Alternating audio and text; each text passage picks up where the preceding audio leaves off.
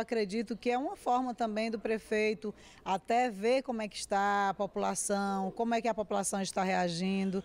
É algo que é positivo do lado do prefeito fazer isso e é um momento que o nosso projeto fez com que realmente as pessoas saíssem né, de onde estavam e viver essa nova situação que é a situação do povo. Aqui a gente, para conhecer a realidade de Teresina, pela temperatura, e você vê as, as, paradas, como é que se encontram, você vê a lotação dos ônibus, você vê os ônibus andando em rua quebrada, em rua sem, sem calçamento, sem asfalto, por isso os ônibus quebram. Você vê o atraso com relação à pessoa que está pegando ônibus, por quê? Porque está empancado no engarrafamento, você precisa melhorar muita coisa em Teresina. Além de andar de, de, de ônibus, é importante que a gente coloque em prática muitas coisas que estão no plano diretor de transporte.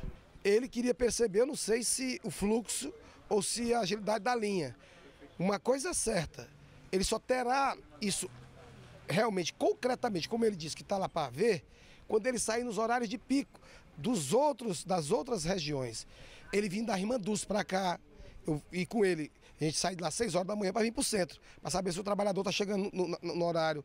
É ele sair do centro meio-dia, indo para as periferias almoçar. É importante ele, não só ele, mas nós vereadores andarmos de ônibus para conhecer toda a problemática do transporte coletivo do, do nosso município, quer ser na zona urbana como também na zona rural, porque muita gente vem dos povoados para a zona rural e tem que trocar de roupa quando chegam aqui no centro para poder é, ter o seu destino, resolver seus problemas em função é, de ônibus é, velhos e empoeirados.